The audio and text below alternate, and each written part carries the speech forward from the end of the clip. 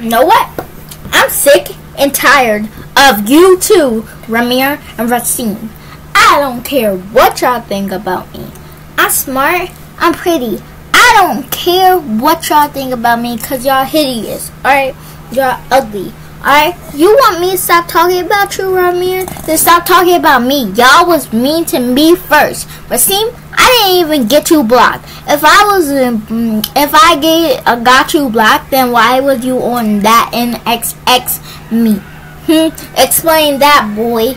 Yeah, I didn't get you blocked. You just on another level. Cause you just like your crush, a nerd, Angel. Alright?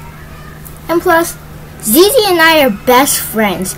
So what you talking about? First of all, I don't care what y'all think. Y'all better stop bullying my best friend ZZ and me. So just leave me alone. If you don't like me talk about you, then leave me alone. Raseem, you're the one who started Dear Robin Matthews. So you need to fix this. Undo it.